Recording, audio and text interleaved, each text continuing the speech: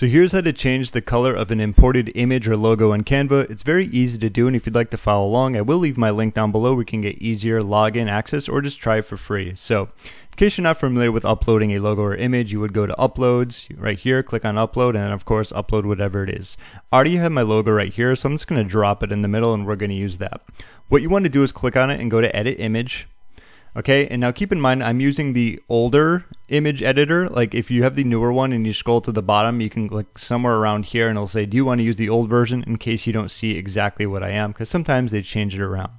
Nevertheless, if we scroll down, we want to see the duotone right here because there's a lot of cool things we can do when it comes to changing the color. So just simply click on see all and really all you need to do is look for the appropriate color that you want to change it to. Now this one is obviously just how it is, but say we wanted to go with a cherry version, that's going to look like that. We have sea green, mustard, ambered, peppermint, blush, pomelo, and a bunch others, dawn, Myrtle, of course, classic. If you want to go with classic, I like none. I like it how it is. But obviously, if you wanted to change it, that's going to be how you do it. And when you are done, just make sure you simply click on the apply button. That's pretty much how you can change the color of an imported image or logo.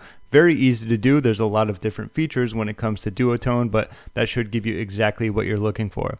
If this helped you out, be sure to give the video a thumbs up as it helps me out as well. My name is James. Thank you so much for watching, and I will see you in my next video.